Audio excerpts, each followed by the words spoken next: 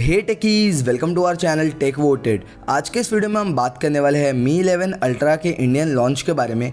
कल शाओमी का एक मेगा लॉन्च इवेंट था ग्लोबली जहाँ पे Xiaomi ने अपनी इस मी 11 सीरीज़ को एक्सपांड किया है अपने पाँच नए डिवाइसेस के साथ namely Mi 11i, Mi 11 Lite 4G, Lite 5G, Mi 11 Pro and the top notch Mi 11 Ultra Mi 11 Ultra बिल्कुल हाई एंड फ्लैगशिप फ़ोन है एंड अब इसके इंडियन लॉन्च के बारे में भी न्यूज़ आ रही है जो कि आज के इस वीडियो में मैं डिटेल में कवर करूँगा। Including specifications and expected pricing but before that अगर आपने हमारे चैनल को अभी तक सब्सक्राइब नहीं किया है तो जल्दी से जाकर सब्सक्राइब कर लो for some amazing tech content कल जैसे ही इसका ग्लोबल लॉन्च इवेंट कंप्लीट हुआ, उसके बाद Xiaomi इंडिया के हेड मनु कुमार जैन ने ट्विटर पे लोगों से ट्वीट करके पूछा कि क्या वो मी 11 अल्ट्रा को इंडिया में देखना चाहेंगे या नहीं। मोस्टली ब्रांड्स ऐसा तभी करते हैं जब उनका पहले से ही लॉन्च करने का प्लान होता है। सो अब हम एक्सपेक्ट कर सकते हैं कि शाओमी अपने इस मी 11 अल्ट्रा को जल्द ही इंडिया में लॉन्च करेगा।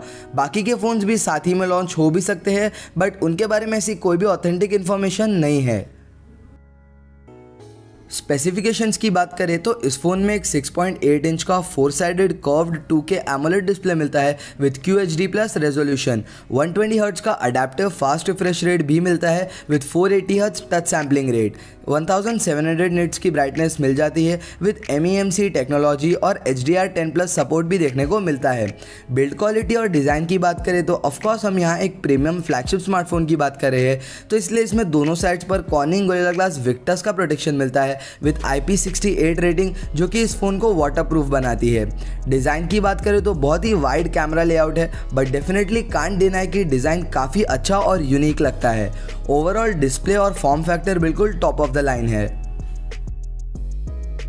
चिपसेट की बात करें तो इसमें Qualcomm Snapdragon 888 चिपसेट मिलता है, जो कि अभी तक का मोस्ट पावरफुल फ्लैगशिप प्रोसेसर है। 5nm पर बेस्ड 5G प्रोसेसर है एंड इसका अंतुरु स्कोर 7 लाख को भी एक्सीड करता है। हैवी गेमिंग और मल्टीटास्किंग वगैरह बहुत इजीली कर सकते हो, कोई भी इश्यूज़ नहीं आने वाले हैं।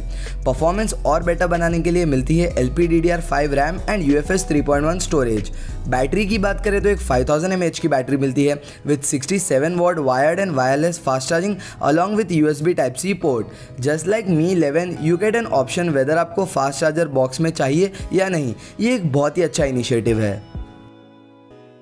कैमरा डिपार्टमेंट की बात करें तो रेयर साइड पर एक ट्रिपल कैमरा सेटअप मिलता है which packs a 50 megapixel Samsung G N two primary sensor 48 megapixel Sony I M X five eighty six ultra wide lens and a 48 megapixel I M X five eighty six telephoto lens with 5x optical zoom and 120x digital zoom front side पर एक 20 megapixel का selfie camera मिलता है। Rare side से आप 8K तक video recording कर सकते हो।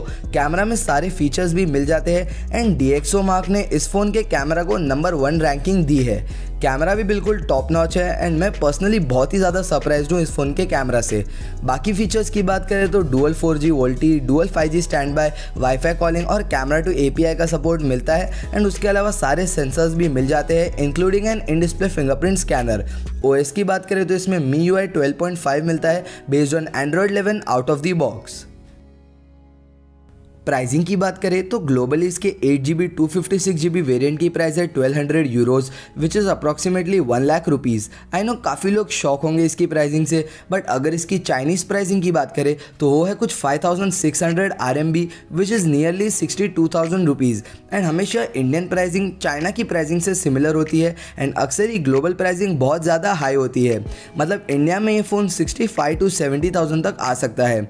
आई गेस अप्रैल में ये मी इलेवन सीरीज़ के बाकी बाकी फ़ोन्स के साथ ही इंडिया में लॉन्च हो जाएगा।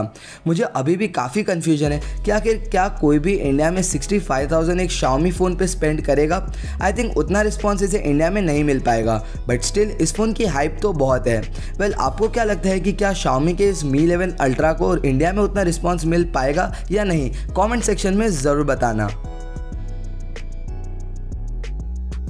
That's it for this video. अगर आपको ये वीडियो पसंद आया then hit the like button and subscribe our channel for some amazing tech content. Keep showing love and stay devoted to tech just like we do.